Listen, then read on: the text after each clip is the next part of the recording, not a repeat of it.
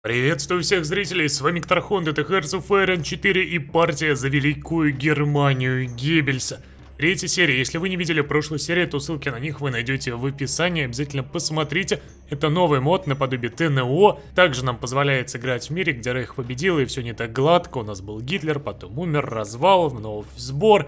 И в общем мы сейчас дошли вот до таких вот границ, посмотрите на карту нашего Альянса. И да, здесь очень некрасиво вышло с Русская республика, у них между двумя русскими республиками была война, мы влетели. В итоге одну нам дали забрать возможность, вторую нет. Поэтому сейчас сидим и не пойми чего ждем. Но я все же думаю немного подождать, раскачать сейчас как раз военку подальше и посмотреть, что будет дальше, повлияет ли это как-то или нет, даст нам новые фокусы, решения на войну или еще что-то, или же нет. Если не будет, и скорее всего нет, потому что, видите, типа, если мы разберемся с походом на Россию, то нам тогда только откроют новое решение на войну. Пока такой возможности, к сожалению, нет. Ну, ладно. Да разберемся, наверное, сначала как-нибудь. Возможно, стоит даже, знаете, что сделать? Вот эти вот два региона просто отжать, и, скорее всего, тогда нам пропишут нормальное действие. То есть сможем объявить войну республике. Можно, конечно, проверить. Сейчас, наверное, мод на передачу регионов сделать. Я вот эти вот регионы хочу вернуть моему Остевропейскому рейс-комиссариату, потому что, как вы помните, финны отняли и теперь некрасиво. А пока я занимаюсь подравниванием границ, хочу порекомендовать вам игровой канал, где вы найдете прохождение стратегии на хардкоре. У автора хороший, четкий и поставленный голос – он играет на высоких уровнях сложности и подробно рассказывает об игре, а также о своей стратегии. Уже сейчас на его канале очень много разнообразных стратегических игр. Вы найдете здесь как популярные вроде Crusader Kings 3, так и те игры, о которых вы, возможно, даже слышите впервые. Но все же стоит с ними ознакомиться, мало ли они вас зацепят. Ссылку на канал вы найдете в описании, переходите, оценивайте ролики. Если вам зайдет подача автора, то подписывайтесь и поддерживайте. В итоге я подровнял, смотрите-ка, поддавал здесь территории рейс-комиссариату нашему. Ну что ж, все. Эти регионы, если отбирать под свой контроль, то никак это на решение не влияет, так что нам сейчас надо будет через время просто напасть самостоятельно на Русскую Республику. Я сделал все-таки объявление войны с помощью читов, как и говорил, иначе мы никуда дальше не двинемся. Ну а потом уже будем готовиться к вторжению во Францию, в других соседей и в целом к окончательной победе над демократами. И давайте, чтобы долго не ждать, не становиться еще сильнее России, потому что я и сейчас уже обладаю больше армией. Нападем сейчас, потому что она почти никакие территории не забрала, армию не увеличивает. И если я еще дольше буду тянуть, то я еще сильнее, сильнее, сильнее буду становиться по сравнению с Русской Республикой. Так что давайте, объявляем войну и погнали. И да, посмотрите, старт войны вполне себе хорош. Мы уже сейчас делаем котлы. Все, все, огромнейший котел. Ух, не красота ли это? Ага, самое интересное то, что рекрутов у России больше нет. Ух, ну что ж, тогда победа точно за нами. И, кстати, по великим державам на данный момент мы занимаем второе место. Американцы посмели нас обогнать, притом достаточно так неплохо, на 14 очков. Удивительно, на самом деле, как. С учетом наших территорий и владений, они все равно оказались сильнее. Армии меньше, Промышленность, ну почти такая же, как у нас, даже слабее.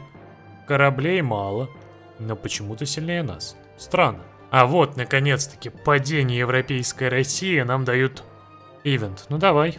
Оставить под своим контролем, либо же рейс-комиссариату отдать. Ну, понятное дело, что рейс-комиссариату.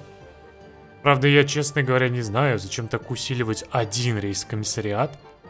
Возможно, управлять-то им, конечно, и проще, но вы представляете, просто какая-то силища. Просто до Урала, вот и Урал в том числе, это все под их контролем. Жесть. Они же могут в любой момент просто восстать против нас.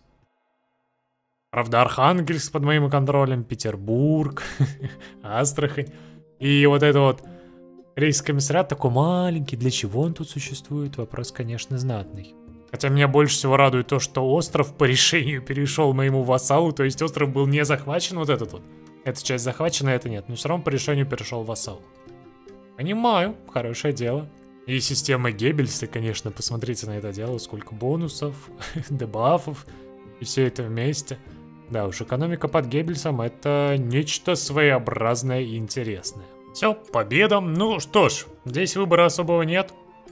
Придется забрать все территории. Под свой контроль. И сейчас надеяться на то, что будет какое-нибудь решение с этими землями или... Или нет. То есть, серьезно, нет решения на то, чтобы сделать здесь марионетку?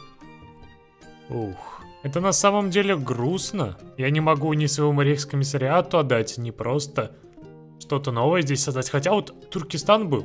То есть здесь рейхскомиссариат планировался. А вот здесь что? Его по плану не должно быть? Ладно. Некоторые границы и некоторые решения продолжают еще радовать и удивлять. Здесь есть одна небольшая проблема, которую я называю проблемой. Я не могу вторгнуться во Францию. Серьезно. Рейх не может решить вопрос с французами. Это максимально странно, с учетом того, что французы не за Рейх. Они как бы противники в любой момент могут вступить в альянс с Соединенным Королевством. Но никаких претензий на войну с Францией нет. Странности, но так вот реализовано. Ну а пока я, как видите, реформирую армию. А потом мне останется веточка на реформу флота.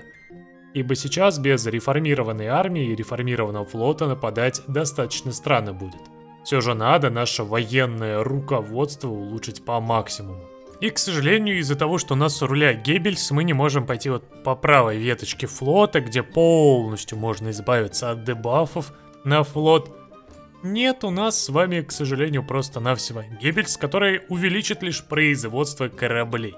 Ну, то есть выпуск сверфей а дебафы все равно останутся. Ну, ладно, видимо, повышенным выпуском он нивелирует те дебафы, которые у нас останутся. Смотрите, мои радарные станции и уровень шифрования дешифрования вместе дают о себе знать. Я вижу, сколько войск в Британии, их тут вообще нет. Просто представьте, вот в это вторгнуться сейчас, и все. И все, Британия ничего не сможет. У нее даже войск нет, хотя если посмотреть по количеству, солдат, то 67 дивизий, как бы, да, много, классно, но где они расположены? Как вы понимаете, опять где-то раскиданы здесь, здесь, здесь, здесь и здесь, и в итоге сил ей, естественно, не хватает. Ну что ж, давайте я прожму это решение 50 дней до начала войны с Соединенным Королевством и США.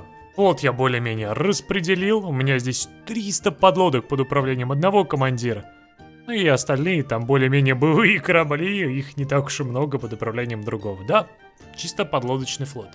Притом я его сам не производил, это стартовый флот, у меня тут есть несколько кораблей на производстве, но вся проблема в том, что, как я понял, они не пойми куда и как отправляются, их нельзя изменять, я не знаю, что с ними не так, хотя я изначально сам их ставил, и все было нормально. Но только лишь подлодки новые можно размещать как-то иначе. Странности, конечно, но уже ничего не поделаешь. Их производство шло давно, и я только сейчас заметил эту странную ситуацию. И вот оно. Рейх объявляет войну Соединенному Королевству. Давайте скорость уменьшим. И... Америке. Погнали. Великая война. Преимущество на воде, естественно, есть. Оно никуда не девается. Поэтому вперед, танки мои. Плывите с радостью в гости. Не знаю, кстати, удалось ли вторжение в Британию в этом мире, но вроде как нет. Но у нас уж вторжение в Британию точно будет успешным. О, попытались задержать, еще попытались задержать. Но это танки, вы что хотите против танков сделать? Это же бессмысленно. И они уже не сдержат немецкое вторжение, все. Это просто прорыв. Все, капитуляция Британии. Возрадуемся этому делу. Британии больше нет. Из великих стран? Серьезно? Исландия великая страна? Не, ну ладно Япония, с Японией вопросов нету, она великая, допустим. Но Исландия. Так, и вопрос у нас с Ирландией. Можем оставить, можем отдать Ирландии. И при такой политике Ирландия, скорее всего, станет нашей. Ну, давай попытаемся. Все, в Ирландии переворот совершен. Теперь здесь национал-социалисты, которые стали нашей маркой. Замечательно, операция в Ирландии удалась. Отлично, смотри-ка, как моя авиация начала субмарины просто топить.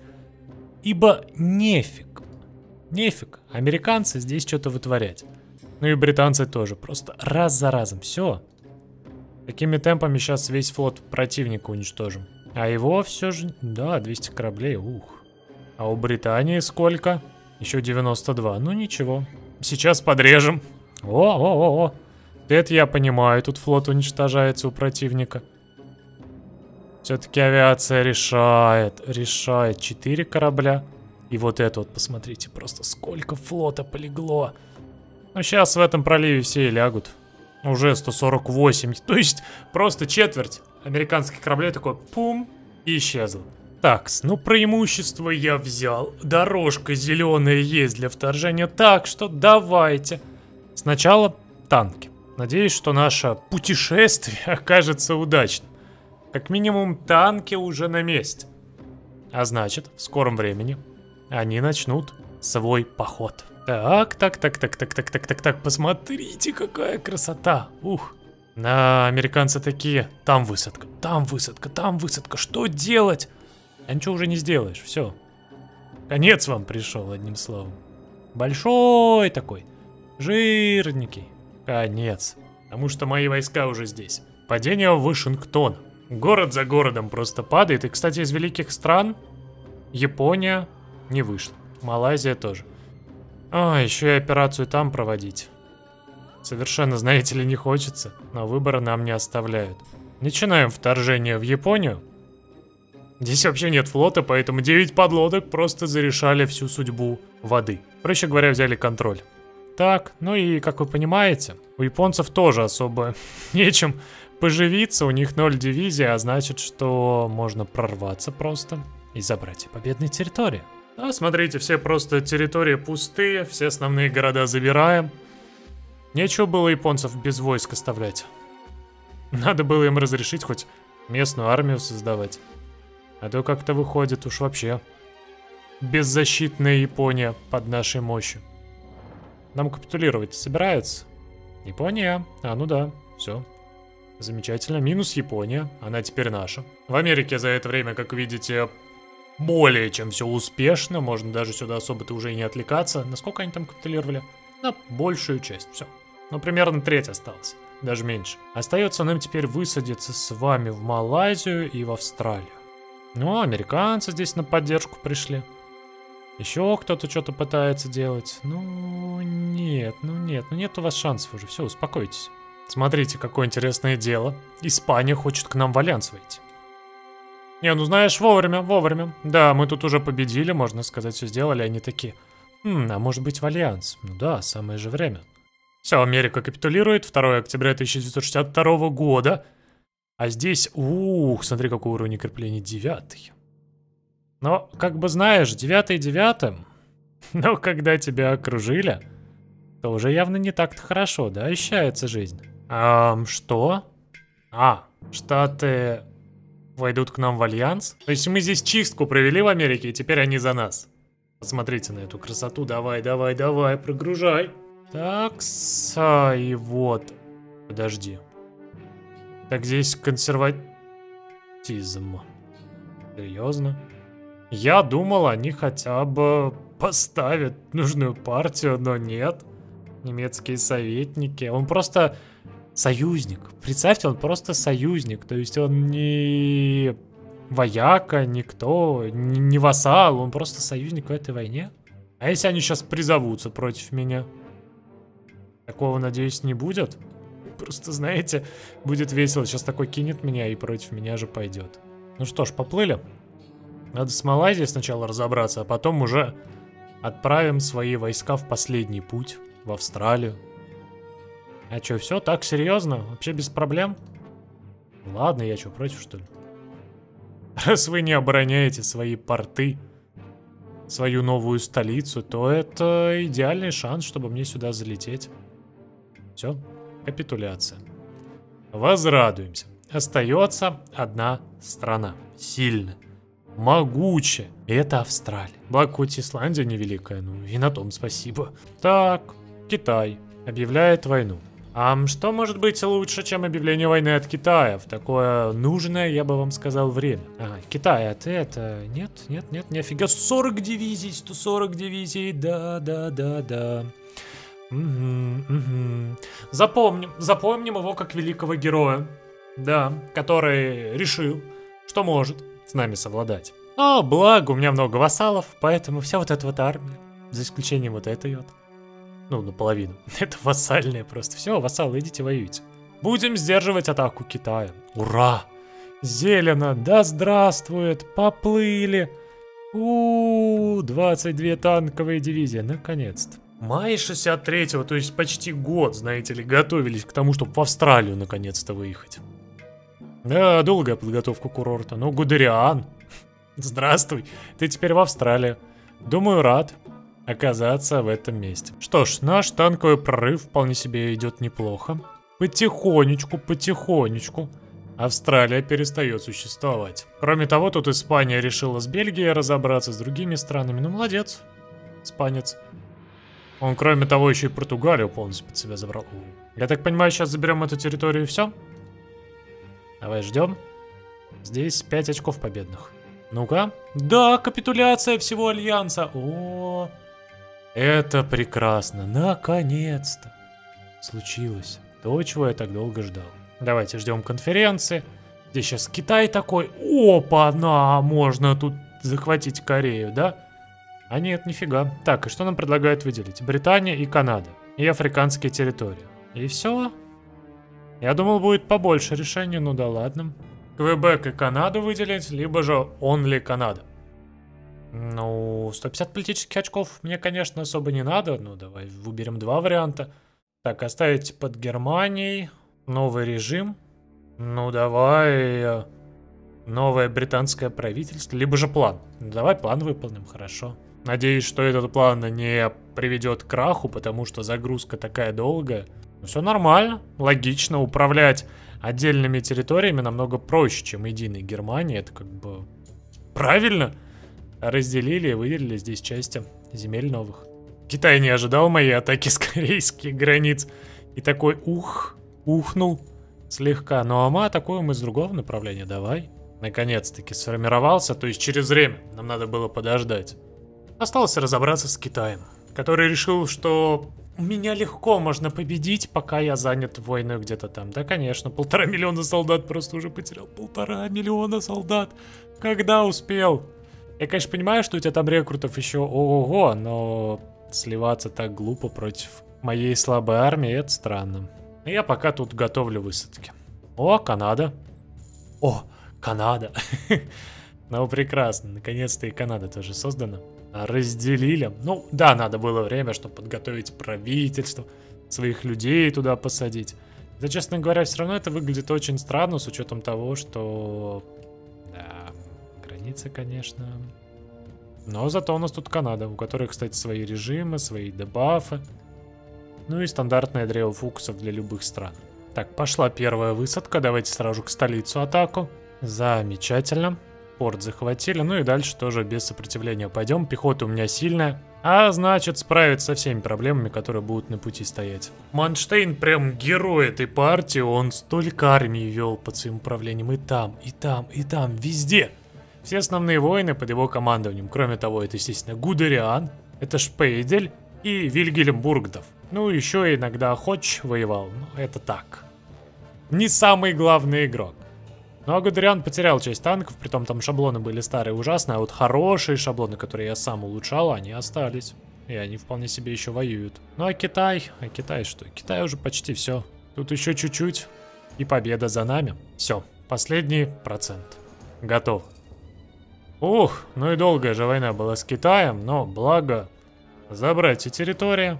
Заканчиваем эту эпопею великую. Решение есть на освобождение Китая. А нет, оккупация Японии тут. Ну, как бы ок. Это все выходит? Опять японская оккупация. Что? Ну, японская оккупация, японская оккупация. Ну, 10 дней, давай подождем. Хорошо, может быть, какой-то ивент дадут? Нет, просто провалено. Все, то есть больше никаких событий нет, мы все сами закончили, ветка фокусов завершена, никаких больше претензий на войну у меня тоже нет. Под моим контролем огромнейшей территории, 900 фабрик, правда Франция до сих пор свободна, но знаете ли, никак нельзя на нее пойти. И посмотрите на наш великий альянс. Да, тут Индия есть еще мелкие страны, но так, все основные территории под нашим контролем. Это победа. Рейха. Спасибо за просмотр, с вас лайки, комменты, ну и всем до скорых встреч.